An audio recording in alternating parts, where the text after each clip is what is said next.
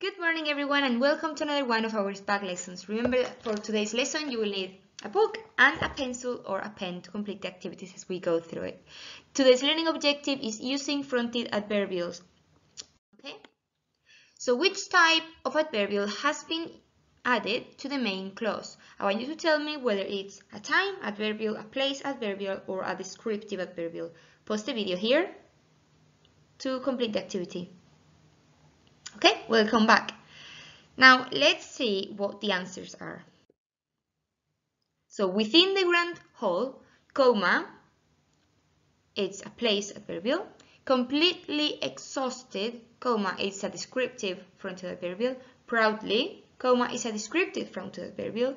After the battle had ended, comma, is the time adverbial. Many years ago, comma, is time again. And holding his broken crown is again descriptive. Okay? Remember the comma. Now, even though these have not been underlined or in red, I want you to consider that the comma is part of the fronted adverbial. Okay?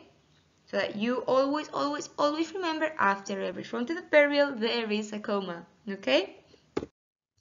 Now match the adverbials to the most suitable main clause. Let's go. A. Whispering quickly and nervously. B. Jumping around like monkeys. C. Silently but viciously. And we have 1. The children played on the climbing frame. 2. The beast flicked its long tongue. And 3. The robbers made their final plans. Have a go at this activity. Post a video here to complete it. Okay, welcome back everyone. Let's check the answers. As you can see, A goes with the third one, B goes with the first one and C with the second one, okay, as these are the most suitable uh, combinations. Now in this activity you have to fill in the gap with a fronted adverbial that tells us when the main clause had happened, okay, so it's when, a time fronted adverbial. How about this activity? There are several uh, types of answers, so choose whichever you think is suitable. Stop the video here and complete the activity. Welcome back. Let's check what I have written down.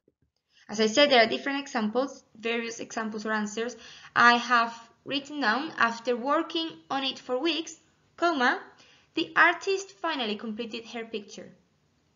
And in the second one, I've put that as the deadline, deadline approached, comma, the final decision was made. Okay? Now on this activity, you have to choose the most appropriate fronted adverbial to complete the sentence below.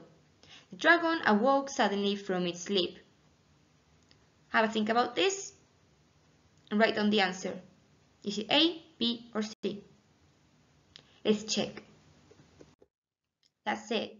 It's not knowing why, comma, the dragon awoke suddenly from its sleep. Okay? Now on this activity you have to write a main clause that could follow each of the fronted adverbials. Again, there are various answers on this one. Pause the video and we'll check the answers now. Okay? So what I've written is in front of the huge castle door, comma, the king and his army prepared to enter. Remember the full stop at the end. And in the second one, I put that scared for his life, comma, he hid silently behind the tree, waiting for the danger to pass, full stop. Okay?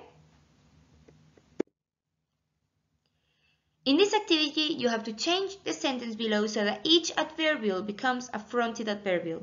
Okay? So what I need you to do is to look for the adverbial in both sentences and to put it at the front to make it a fronted adverbial. Again, remember that after every single fronted adverbial, there is a, that's right, comma, okay?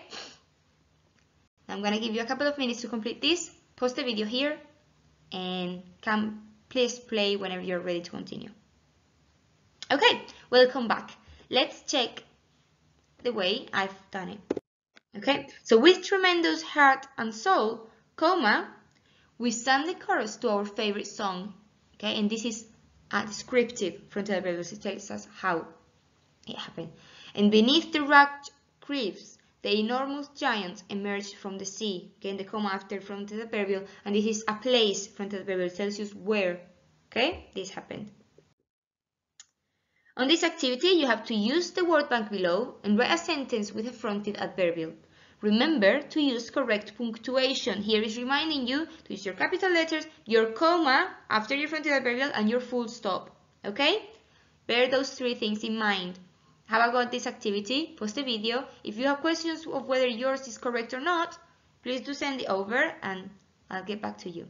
Okay? Right, let's check the answer. If you have not done it yet, remember post the video here and then check the answers with us. Okay, so what I've done is under the setting sun, comma, the forgotten city shimmered.